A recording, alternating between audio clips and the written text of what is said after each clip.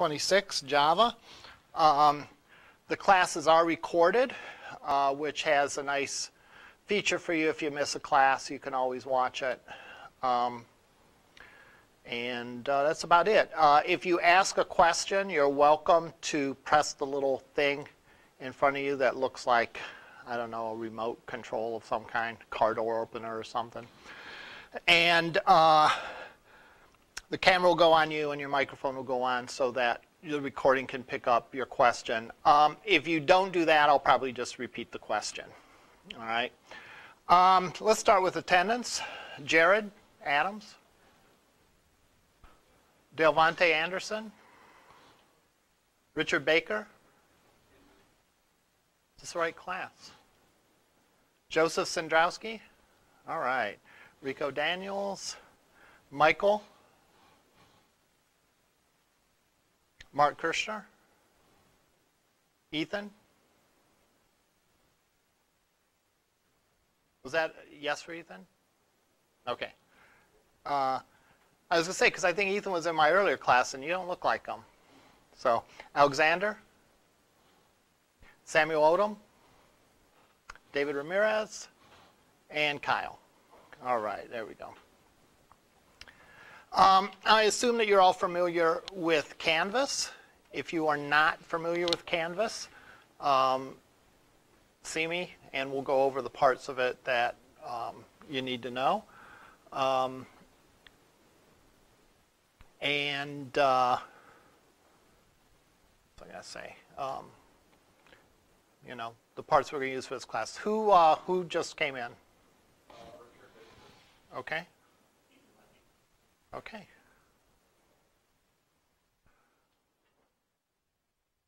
All right.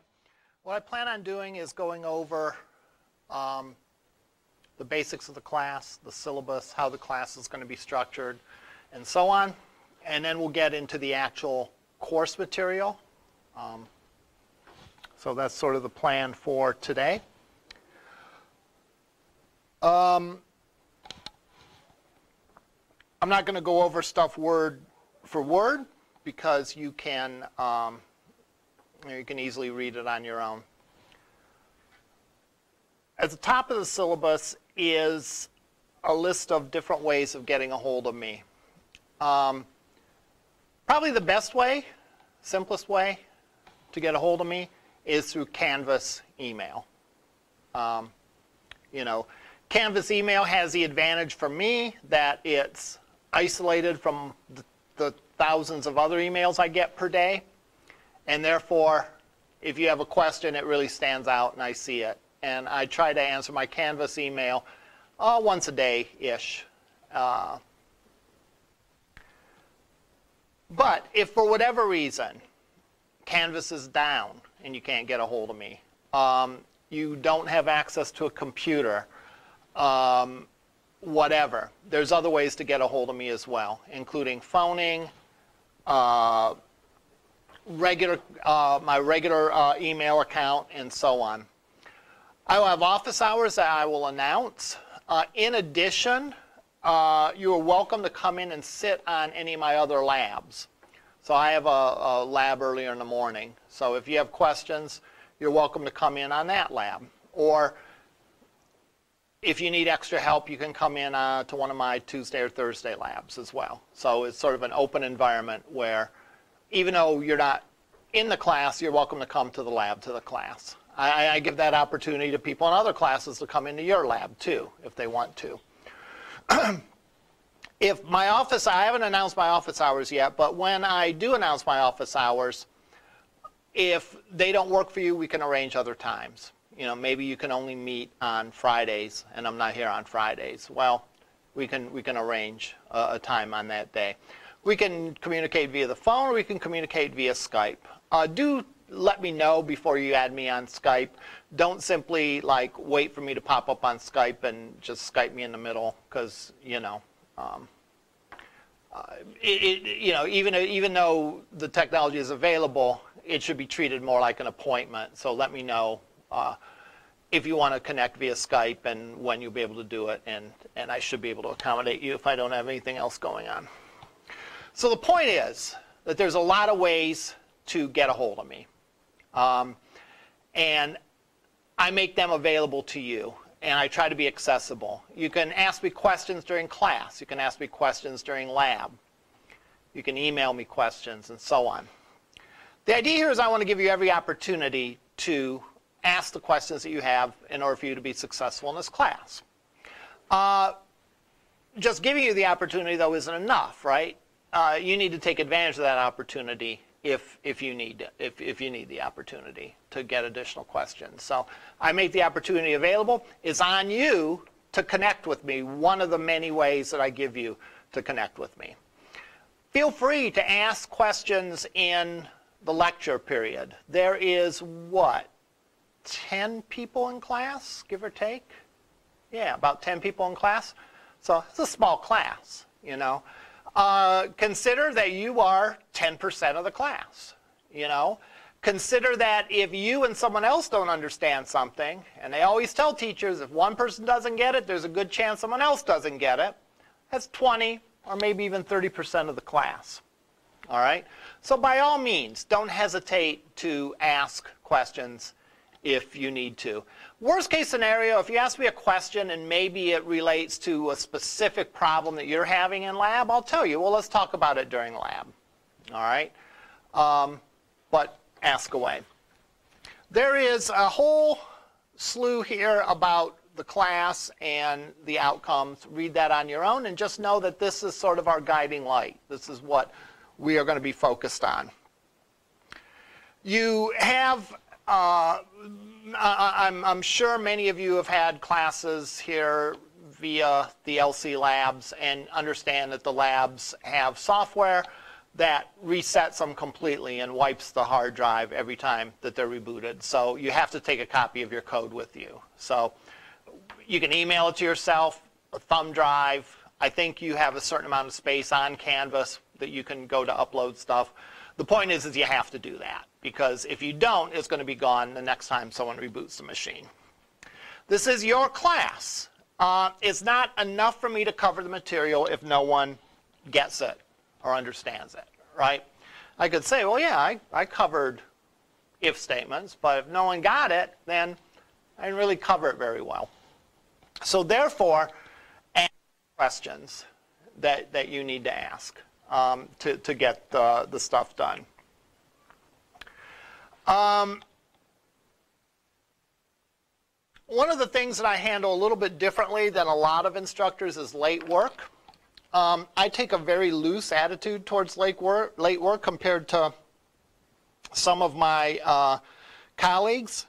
You know, some of my colleagues, how they handle late work. So such thing as late work. If it's late, it doesn't count. That simple, right?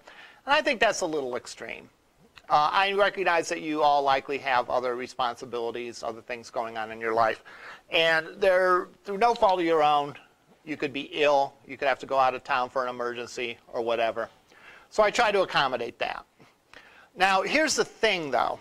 If you're late with one assignment because you're ill or whatever, um, it's no big deal, right? You know, but a couple things. First of all, keep me in the loop. Now, you don't have to divulge any personal information if you don't want to. You know, if you had a family emergency and you really don't want to go into details, you don't have to go into details. Just say, I have a family emergency, I'm going to be out of town for a few days, and I expect to get the homework done such and such day. That's sufficient, all right, just to keep me in the loop. So I know that the assignment's important to you. It's not that you're just blowing it off, that there's a legit reason why you can't get it in on time. The other thing is to uh, be sure if you're not getting the assignments done on time because there's something you don't understand, be sure you're asking the questions. All right, be sure you're not just struggling or flailing away trying to get the correct answer. You know, I've had students tell me, oh, I've spent 20 hours on this, eight hours on this, whatever. And really, trying to figure out stuff on your own is a good quality. But getting to a point where you're spinning your wheels and not making any progress, you're just frustrating yourself. All right? If you need help, ask for it. I try to do my best maybe to not give you the answer, but maybe point you in the right direction where you can find the answer. That is sort of, as a teacher, that's sort of one of the neater things that you can do, you know, when you don't necessarily answer the question for them, but you help them discover the, you know, you help the student discover the, quest, the, the, the answer on their own. The point is, though, the bottom line, the too long didn't read uh, version of this is I reserve the right to take up to 10% a day off for late assignments. But I will if I've been informed and people are asking questions and I understand where they are with the assignment. I also may not take points at all off if it's late. All right. The only thing I would say is if you're late on a few assignments, on, on, maybe like one or two assignments, that may not be a big deal. If you continue to be late on the assignments, that's a sign that something needs to change. Maybe you need additional help and come see me during office hours or whatever. All right? So it's important that, you know, you don't use the, the, my flexibility as a crutch for late assignments.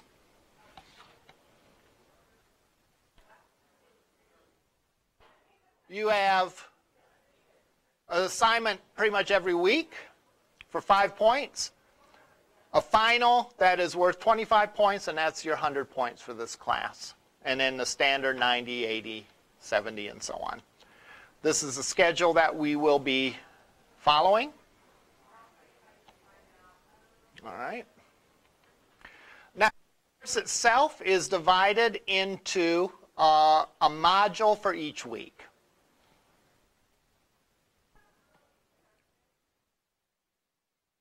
All right, there's a couple of modules of introductory material that we'll, we'll talk about today. But essentially, you will see for every week a weekly module. That will include the assignment that's due, examples that I go over in class, and it will uh, include also uh, videos of uh, the, the, classroom videos, the classroom lecture videos. So when I get and upload the lecture video today, you'll see 826 lecture here in this folder. Course information. Um, there's a link for, to the textbook site. This is a very important link, setting up your class to uh, your computer to do the assignments. And there's a page in the book that covers that. I'll spend a little bit of time discussing that today in class. And finally, copyright information for educational projects. Uh, that's more important in the classes that like use images and multimedia, but it also is relevant here. You know, if we ever do something, you know, you're not allowed to take stuff from other sources without giving credit to those sources. What I do want to talk about, and this is something I'm doing different this semester. So some of you may have had me in previous semesters. Uh, this is like sort of uh, an experiment that I'm trying this semester. And that relates to how I'm going to grade your assignments. All right? This class meets Monday and Wednesday. All right? And we have lecture and lab on Monday and Wednesday. The labs will be due the Tuesday following the week that it was assigned. So for example, lab 1 is assigned week 1. So lab 1 will be due Tuesday of week 2. Now I know we don't meet on Tuesday of week 2 or any week, but you can upload it to Canvas. There's a, a, a, Dropbox that you can use to upload the assignments to Canvas. So you'll just go and upload them there, and it's due the Tuesday of the following week that it's assigned. So week one is due Tuesday of week two. Now, Wednesday in lab of week two, I will spend grading your assignments. Now, there's only, I don't know, 12-ish people. Uh, I think that can easily be done in a lab period. If you turn it in early, bring it to my attention and I'll grade it early. Okay, so you don't have to wait until Wednesday. If, for example, well, it won't be that way next week because next week there's no class on Monday, but if you were to finish a lab, let's say on Monday, and you turn it in bring it to my attention in lab, and, and we'll, I'll grade it right then and there, so you don't have to wait until Wednesday. But I'm going to spend Wednesdays uh, grading the uh, labs that were due the previous, the, the, the Tuesday, the day before. All right? And I'm doing that for a couple reasons. I'm doing that to, to help you and to help me. All right? Uh, probably one of my biggest challenges when I teach a lot of classes like I'm doing now is staying up on the grading. All right? And I have found that I've fallen way behind sometimes on grading. And that is very stressful and it's very tiring. And I'm hoping to get most of the grading done during the week. So the weekends I can relax and enjoy myself and recuperate from my schedule of the week. All right? And it's good for you too because I can give you more thorough, more accurate, and more timely feedback on it. When I'm grading stuff, in the past, I've written comments about it. Sometimes my comments can be a little vague, you know, when you write them down. You think you're explaining them, but without writing paragraphs and paragraphs, I might not be clear exactly what the issue is. Whereas if I grade it right with you there, sitting with me, all right, there's so much better chance of us to be able to talk. And I'll say, well, uh, your if statement doesn't work for 40 hours, let's say, if an employee works 40 hours. And you'll say, what do you mean it doesn't work for 40 hours? And I'll say, well, see there, if, it, if it's 40 hours, it's supposed to go this way in the if statement, but it doesn't go this way on the if statement and then we can talk about and you can get a, a better answer. So I am to give you more timely and more thorough feedback by grading it in class. So this is a little experiment I'm trying uh, this semester. All right. So when you get stuff done, if you get it done early, bring it to my attention, and I'll grade it. Otherwise, we'll figure on grading everything uh, the Wednesday of the week that something is due. All right. On to the material of the course. Okay? And we're going to go over kind of the typical Hello World application that is usually like the first application you ever run in any programming language. Let me tell you a little bit about the way Java programs are work and the way Java programs are compiled and the way that Java programs run. And this points to some of the advantages of Java. All right? Sure. What time is to and from and what room It is uh, 2 to 3 in uh, 202, I believe. Well, let me, let me, let me check real quick. It's right after this class. I, I know that. Let me.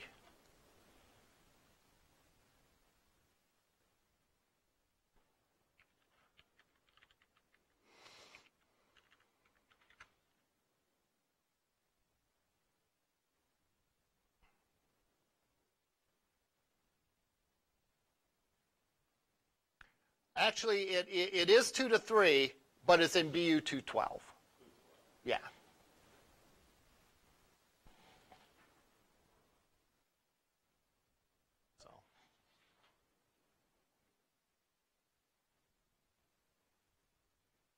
two to three in BU 212. All right. Right. Right. Yeah, I don't I don't know how I don't know how the schedule works or anything. All right. So, here's sort of the anatomy of a Java program. Java is an object-oriented programming language. And you probably have at least had the intro to C Sharp. So the term class and object probably has sub-meaning to you. All right, and hopefully this class will help sort of you to understand it on more detail. But all code for a Java program, if we're talking about a Java application, all of the code lives in a class file. All right, so all your code is going to be in a series of classes. Now, when we start out with the very first example we have, it's going to be real simple. It's going to be just one class. All right? As we get more and more involved, there's going to be multiple classes. All right? I think week two's assignment, there's going to be multiple classes in. So we don't, we don't stay in the land of one class for too long. All right? We're going to get into creating other classes uh, real quick. But all your code lives in a class. Um, in the code that you write in the Java programming language is called the source code. All right? And it will be contained in a file that has a .java extension, so .java. And the name of the file should be the name of the class. And the name of the class, the first letter should be capitalized. All right? Now, these don't necessarily seem like a big deal, uh, but it's rules that you should follow. All right? Don't give me um, classes that start with a lowercase or whatever. So if I had a program that I was going to call exam, for example, the source, the job would be in a file exam.java. All right?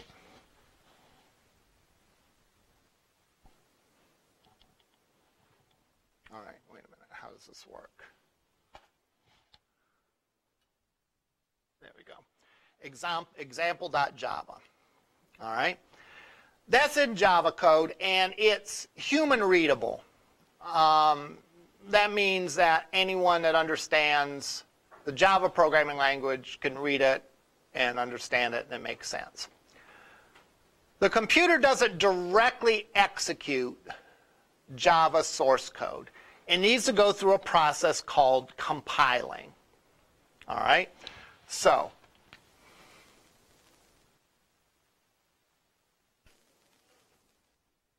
the process means running the Java compiler, which is Java C. All right?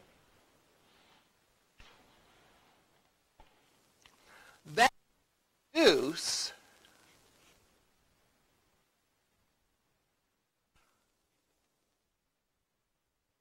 a file that ends with the dot class extension. This is called source code.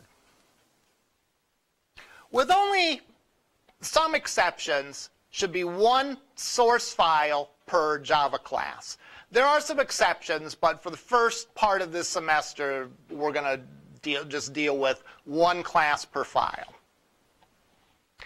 And that source code, and that is written in Java. This is compiled into what is called bytecode, and it is machine readable, which means the machine can read it and execute it.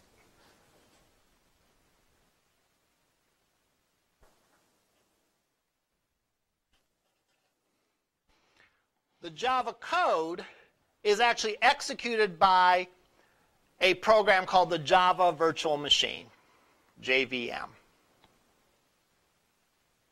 So, if I'm going to run Java programs but not write them, I only need the Java Virtual Machine. Let's say I'm never going to write a Java program in my life, but I'm going to run Java programs that other people write. I would only need the Java virtual, virtual machine. All right? If I want to create programs in Java, compile them, and run them, I need the JDK, which includes as part of it the Java virtual machine. This is important when you go to install Java. All right? You might think, I have Java already installed on my machine. I don't need to do that. If that's the case, you need to verify, do you have only the Java virtual machine or do you have the JDK installed, Java develop, Development Kit? When you go to install it, you have to look and see which install program that you're going to create. Now, I believe Java is already installed on this machine, so I'm not going to go through the act of installing it, but I'm going to show you what that might look like.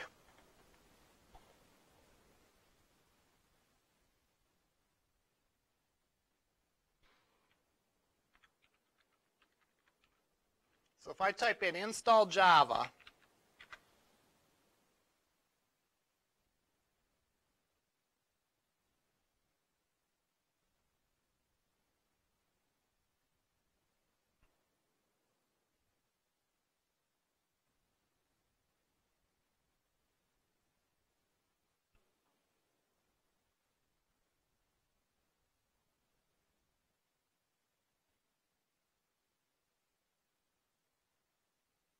we are on Windows. Let's see. So.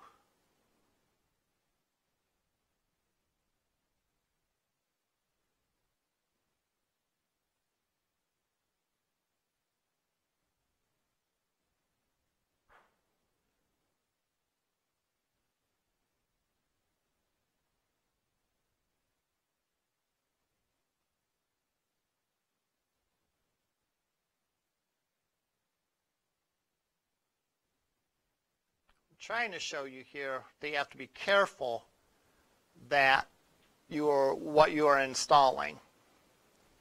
Okay?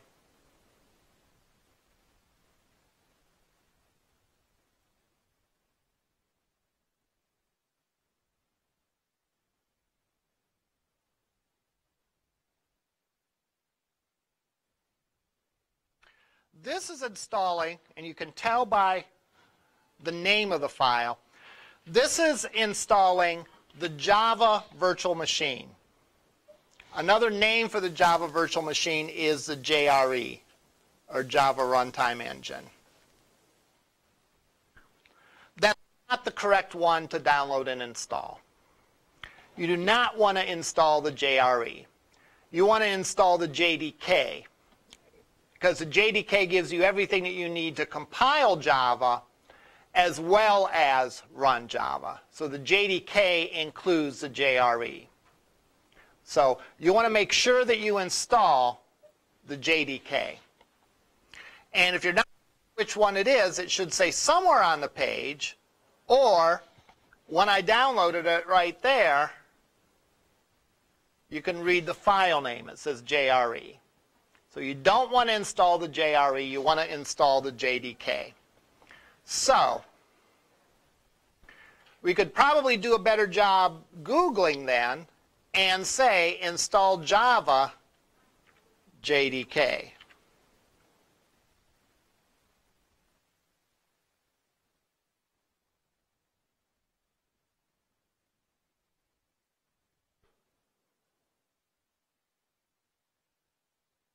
And we see there it says Java JDK.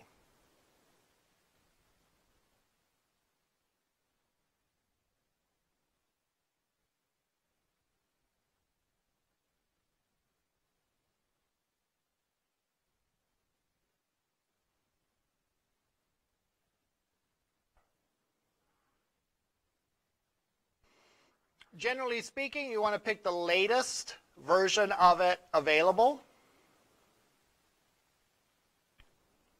Java SE, standard edition. That includes a JDK. So I can click that. And now notice that I am getting, eventually,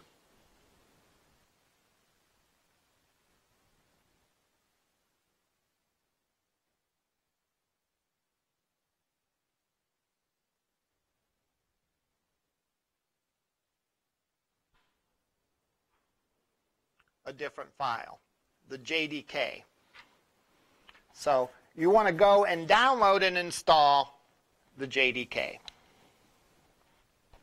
Another way to tell is the file size is a lot different. If you notice the JRE was only like one meg and it, took, it, it downloaded like in a second. This is like 150 megabytes. Okay, so you've downloaded the, the uh, JDK. You're going to want to go and install it. And installing it should be pretty straightforward.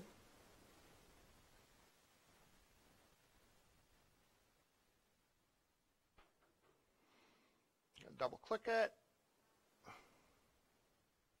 It's already been installed, so it's not going to let me do it. But it'll take you through a series of steps. All right? Now, assuming that you are on Windows, all right, there's one more thing that you have to do, and that is you have to configure the path, all right, in order to run it. The path environment variable. So on Windows, if you say edit the entire uh, environment uh, variables, you can see that here. And you can see the path is here. Now the path is simply a list of folders that the Windows operating system looks for when it's looking for a program. So I'm going to compile a Java program in a minute. And I'm going to type in Java C. Now that Java C is somewhere on this machine, right? In order for Windows to find it, the directory where Java C lives has to be included in the path. And if I look here, this is the folder that the Java C, uh, uh, the, the Java C command uh, lives in. So you have to make sure that you go in and edit the environment variable for path and put the folder for the bin of the JDK. And it looks like by default it's going to be program files, Java, JDK, the version number slash bin. But you have to make sure you get that correct. Otherwise, it's not going to be able to find it when you go to compile. It'll tell you that javac is not a valid command. I'll try to simulate, uh, to simulate that in a second.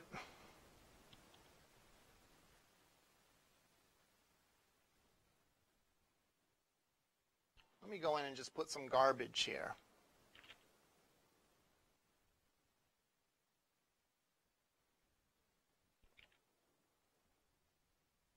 So now my path is wrong. If I go in and try to compile a Java program now, it's going to give me an error. Not because I didn't even have Java installed, but because Windows doesn't know where to find it. So let's look, let's go and download the Hello World application, and we'll compile and we'll run it.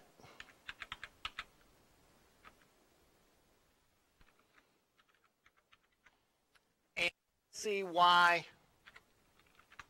We'll see it not able to be compiled first because I've messed up the path.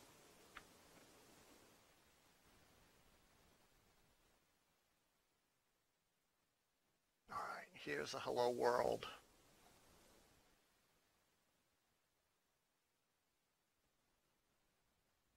Ah. Let's go, let's go make a folder. called example. Let's go open up Notepad Plus.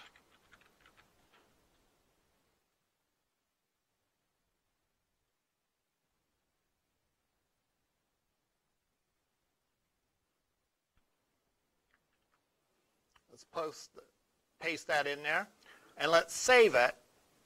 And the class name Java. So the class name is Hello World. We'll get to what this means in a minute here. But I'm going to go to Save As. It in example.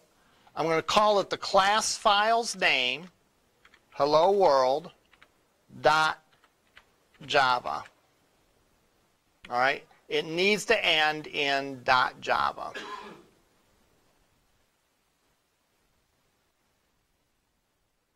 All right, so there it is in my example folder. Now I'm going to go in and I'm going to try to compile it. Now remember, spoiler alert, I change the path. So it's going to give me an error when I try to compile it. So I'm going to go to do this. I'm going to go to command prompt. Nothing to be afraid of in the command prompt. Make it big so we can read it.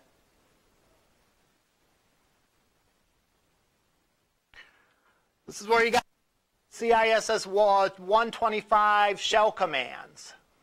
And if you don't remember those, good news is there's only a couple of you need to know. You need to just get into that directory. It put me in my default user directory. So I just need to go to the desktop. How do you go down to a directory? You just type in cd desktop.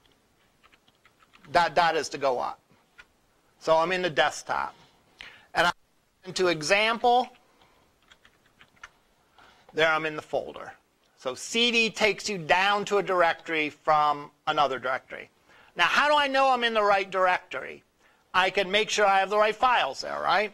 So if I type in dir, it shows me, yep, that's the code that I'm interested in, hello world. So I'm in the right place.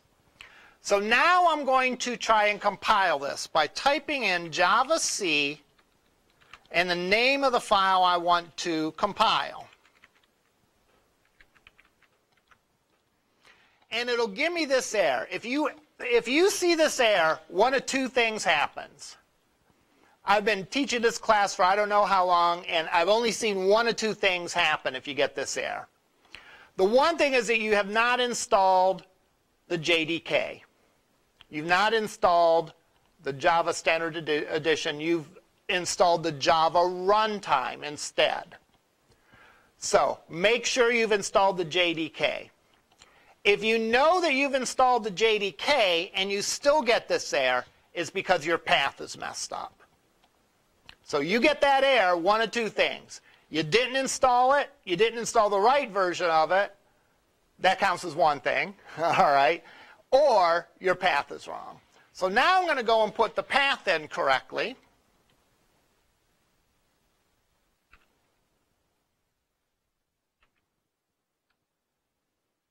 And I'll go here and correct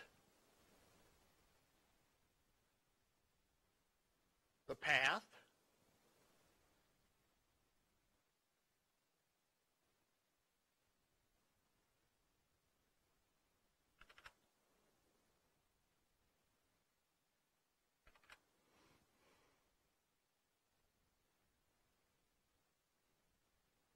Okay, I think I restart my command prompt.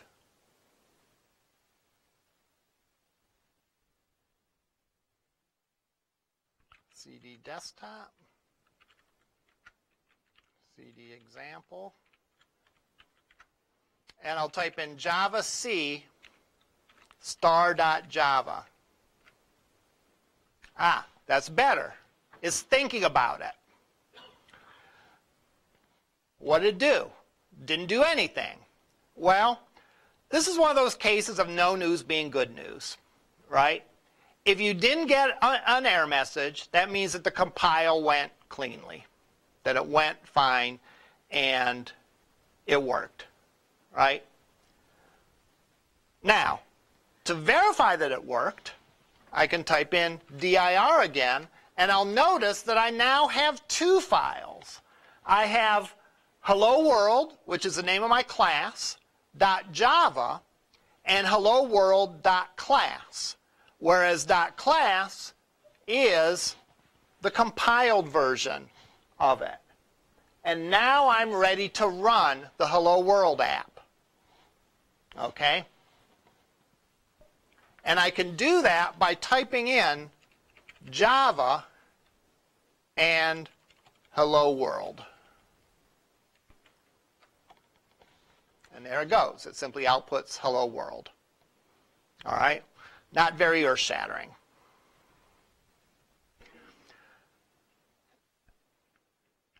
For the first lab today, Java should be installed up there, knock on wood. All right? I believe it's installed up in BU 212. What I'd like to see you do between now and Wednesday is Be sure that you can do this in lab and be sure you can do this at home, all right, on whatever machine you're going to use if you're going to use a machine at home, whether you have a laptop or a desktop or whatever, all right? So try to make sure that you, that you can do this part. You shouldn't have to, you shouldn't have to download or install Java upstairs. It should just work. So what did I do again? I went to the hello world, I copied it, I put it in a file called hello world.java. All right? I went and compiled it by typing in javac space the name of the file, so hello world.java. And then to run it, I typed in java hello world.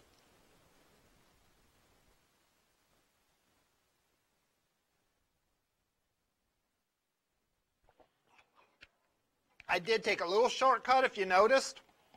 Old habits die hard.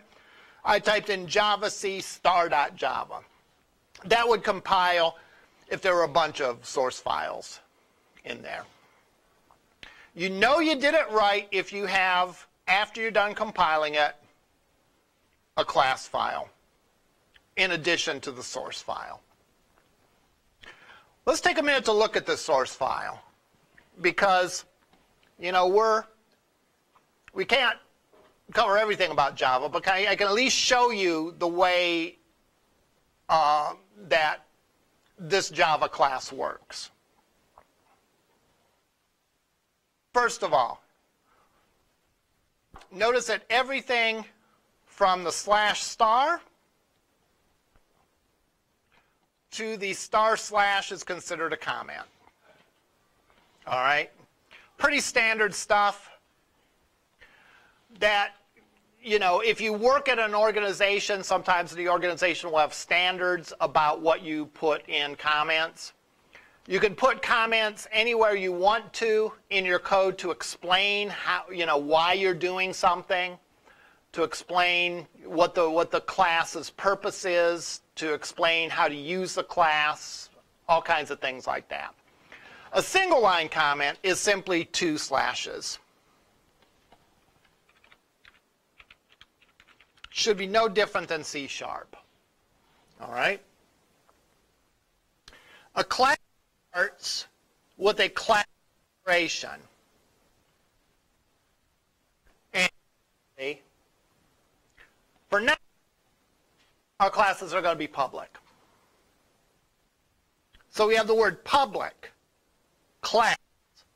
And then we have the name of the class. Now, Java is case sensitive. So if I were to make public with a capital P, it's not going to like it. All right? If I go do that, save it, and I it, it tells me it doesn't know what that means.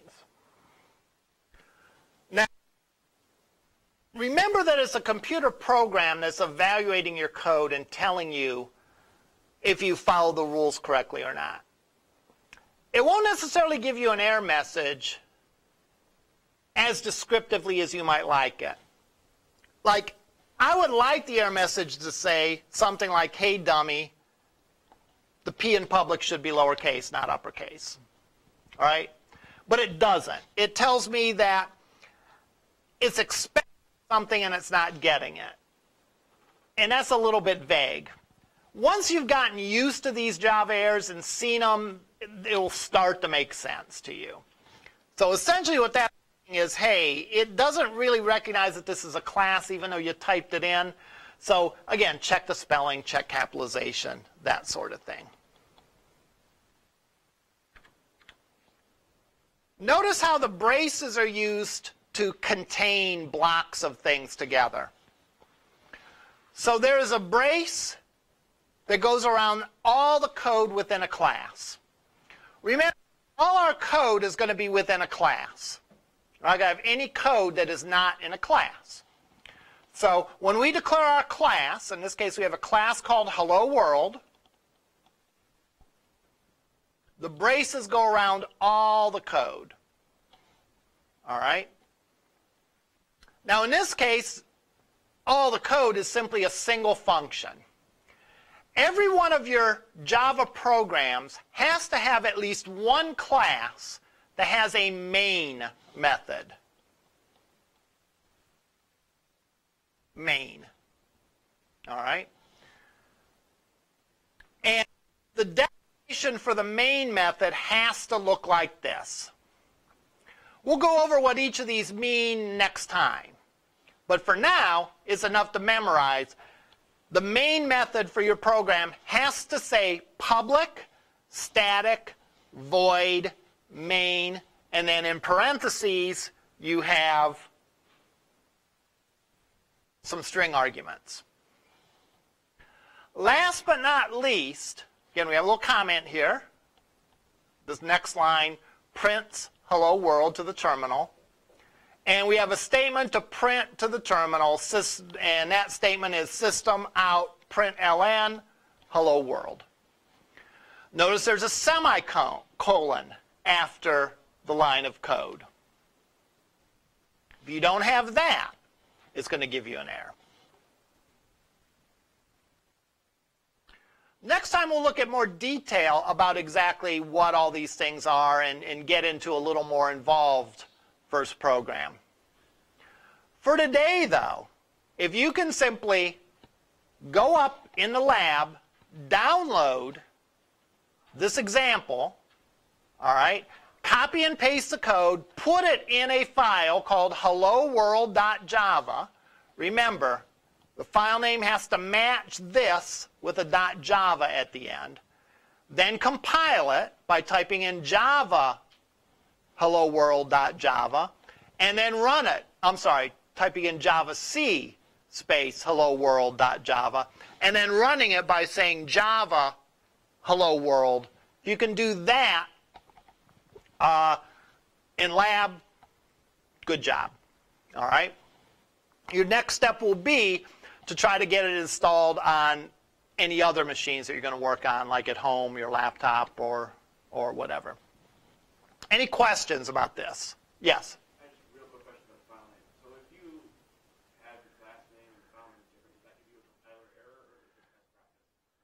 Uh, it actually gives you a compile error.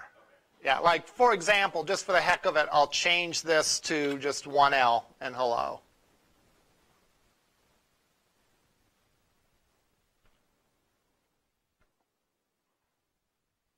It'll tell you, hello world is public, so it should be declared in a file name hello world with one L.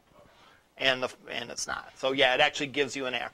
It's also, this is one thing that Windows is forgiving on, but like on a Linux operating system, it is not, or Unix operating system is not, is case sensitive. So it should be, all your classes should start with each word being capitalized. So hello world is capital H and capital W. And your file should be saved the same way, capital H, capital W.